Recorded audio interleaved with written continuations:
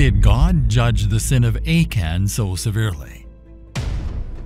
The account of Achan's transgression and God's retribution can be found in Joshua chapter 7. Joshua was one of the Israelites who fought alongside Achan during the Battle of Jericho. Because of the terrible sin that Jericho had committed, God had given the Israelites the command to wipe out the entire city. The Israelites were making their final preparations to take possession of the land of Canaan, which had been promised to them by the Lord. Nevertheless, the primary threat that they faced was not an adversary from the outside, but rather corruption from within their own ranks. Sin's effects, like those of a tumor, may at first be difficult to identify. Yet if they are allowed to progress unchecked, it is capable of taking countless lives. As Joshua and the people of Israel approached the country that had been promised to them, the Lord impressed upon them the importance of this lesson. The Lord solemnly and publicly invested Joshua with authority to lead the Israelites while they were camped on the eastern bank of the Jordan River. Joshua then bound his people by covenant to obey all of the Lord's commands. Joshua chapter 1 verses 16 to 18. Then they answered Joshua, Whatever you have commanded us, we will do, and wherever you send us, we will go. Just as we fully obeyed Moses, so we will obey you. Only may the Lord your God be with you as he was with Moses. Whoever rebels against your word and does not obey it, whatever you may command them, will be put to death. Only be strong and courageous. Once across the Jordan River, the Israelites faced a difficult obstacle Jericho. If they could conquer this heavily fortified city, passage into the interior of the land would be easily achieved. To prepare the people for battle, Joshua chapter 3 verse 5. Then Joshua said to the people, Sanctify yourselves for his purpose, for tomorrow the Lord will do wonders miracles among you. Joshua said, Sanctify yourselves, for tomorrow the Lord will do wonders among you. The Lord gave them the battle plan. Israelite soldiers were to march around Jericho once a day for six days, accompanied by seven priests carrying trumpets and the Ark of the Covenant. Before going up to Jericho to march on the seventh day, Joshua specifically forbade the people from taking anything from the city for personal gain. Joshua chapter 6 verse 18. But as for you, keep yourselves away from the things under the ban which are to be destroyed, so that you do not covet them and take some of the things under the ban for personal gain, and put the camp of Israel under the ban doomed to destruction, and bring disaster upon it. As they concluded their march this day, according to the Lord's instructions, the people shouted, the trumpets blew, and the wall fell down flat, so that the people went up into the city. However, during the occupation of Jericho, an Israelite named Achan disobeyed and took the spoils for himself, and the anger of the Lord was kindled against the children of Israel. Joshua chapter 7 verse 1. But the sons of Israel acted unfaithfully and violated their obligation in regard to the things off limits under the ban, those things belonging to the Lord. For Achan, the son of Carmi, the son of Zabdi, the son of Zerah, from the tribe of Judah, took some of the things under the ban for personal gain Therefore the anger of the Lord burned against the Israelites. Joshua was unaware of Achan's actions, or that his presence in the camp had caused the Lord to withdraw his support for the people. Joshua instructed the people not to take any of the accursed things, which were associated with the Canaanites' demonic and debasing worship and practices. Joshua chapter 6 verse 18 But as for you, Keep yourselves away from the things under the ban which are to be destroyed, so that you do not covet them, and take some of the things under the ban for personal gain, and put the camp of Israel under the ban doomed to destruction, and bring disaster upon it. The wars fought by Israel and Canaan were not to be plundering wars of personal gain. They were an unusual, sacred instrument in God's hand, used for judgment against a society ripe for judgment. The Canaanites could not defeat Israel, but they could defeat themselves by alienating themselves from God's plan and power.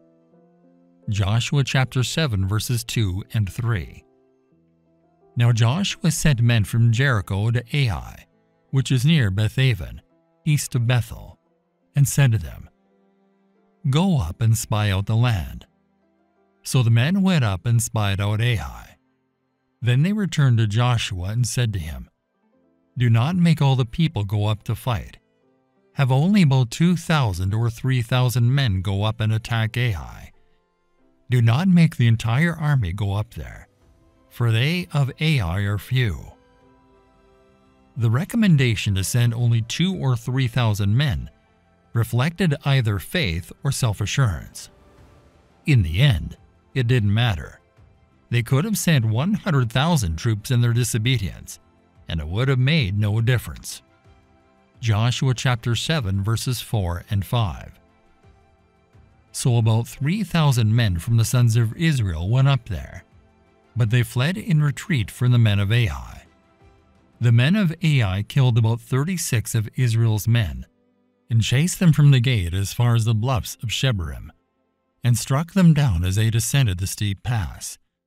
So the hearts of the people melted in despair, and began to doubt God's promise, and became like water, disheartened. Joshua, a wise military commander, directed that the larger number recommended by his military intelligence be sent, but it made no difference. They fled in front of the men of Ai. The 36 men slain were 36 more than were slain at Jericho which was thought to be a much more difficult city to conquer. Though this number was small from a military perspective, what it meant was staggering to Israel, and meant that Israel could be defeated in the Promised Land. The loss at Ai demonstrated that it was not the might of the opponent that was important. Rather, it was the aid that God provided. Without the assistance of God, there is no hope. The individuals of Israel had adequate reason to be afraid. Their alarm was entirely logical, because if God did not fight for them, they had nothing to expect but defeat. Joshua chapter 7 verses 6 to 9. Then Joshua tore his clothes and fell face downward on the ground before the ark of the Lord until evening, he and the elders of Israel. And with great sorrow they put dust on their heads. Joshua said, Alas, O Lord God, why have you brought this people across the Jordan at all, only to hand us over to the Amorites to destroy us? If only we had been willing to live beyond the Jordan. O Lord, what can I say now that the army of Israel has turned back in retreat and fled before their enemies? For the Canaanites and all the inhabitants of the land will hear about it, and will surround us and cut off our name from the earth. And what will you do for your great name, to keep it from dishonor? Tearing your garments and putting dust on your head are two ways to show that you are mourning. Joshua is not only lamenting the loss of 36 men, but he and the elders of Israel are also mourning the loss of the blessing and guidance of God. Joshua's grief is shared by all of them. This defeat was regarded as a national catastrophe by Joshua and the other elders of Israel. They did not adopt a win if you lose if you mindset. Instead, they took this loss seriously and did not shrug it off. They were aware that every conflict was important and that there was always a justification for a loss. A defeat of this magnitude does not simply happen. Joshua was well aware that it would have been in everyone's best interest if they had never set foot in the promised land at all, in the event that the hand of blessing and direction from God was not upon them. If God did not deliver them, all would be lost. Joshua chapter 7 verses 10 and 11. So the Lord said to Joshua, Get up. Why is it that you have fallen on your face? Israel has sinned. They have also transgressed my covenant which I commanded them to keep. They have even taken some of the things under the ban, and they have both stolen and denied the theft. Moreover, they have also put the stolen objects among their own things. The good news was that God had not abandoned the nation. The bad news was that this defeat was the result of Israel's sin. Joshua does not need to be concerned that the problem is with God. It is almost comforting to find that the problem is with us. As a result, God told Joshua to get up. He didn't have to beg God to change his mind about Israel. Joshua had to change Israel's heart before God. God says that Israel, not just one man, had sinned. It's mind boggling to consider that an entire nation was found guilty, all for the sin of one man. When it comes to sin in the church, Paul uses similar language. When it comes to sin in the Corinthian church, he says, Do you not know that a little leaven leavens the whole lump? A small amount of sin that believers accept and tolerate can infect the entire group. 1 Corinthians chapter 5 verse 6. Your boasting over the supposed spirituality of your church is not good. Indeed, it is vulgar and inappropriate. Do you not know that just a little leaven ferments the whole batch of dough, just as a little sin corrupts a person or an entire church? One man defrauded God. Similarly, we steal from God when we do not give Him what He commands us to give. The effect of the sin, they now have no power before their enemies. Joshua chapter 7 verses 12 and 13. That is why the soldiers of Israel could not stand and defend themselves before their enemies. They turned their backs and ran before them, because they have become accursed. I will not be with you any more unless you destroy the things under the ban from among you. Rise up, consecrate the people, and say, Consecrate yourselves for tomorrow. For thus says the Lord, the God of Israel There are things under the ban among you, O Israel. You cannot stand victorious before your enemies until you remove the things under the ban from among you. Israel could not fight in God's power and presence unless they obeyed him. Israel was bound by a covenant with God that promised blessings for obedience and curses for disobedience. Though Joshua did not know the identity of the sinful family, God did. Secret sin on earth is an open scandal in the eyes of God. Once God dealt with a one sitting individual, blessing could come again on the whole nation. Joshua chapter 7 verses 16 to 18. So Joshua got up early in the morning and had Israel come forward by tribes. And the tribe of Judah was chosen by Lot. He had the families of Judah come forward, and the family of the Zerahites was chosen.